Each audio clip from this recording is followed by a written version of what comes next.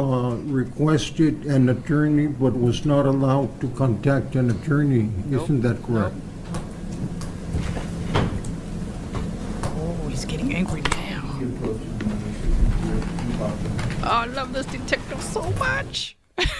He's such a grizzly. This guy's a grizzly, Detective Reyes. That was the perfect way to answer that question. like, I roll.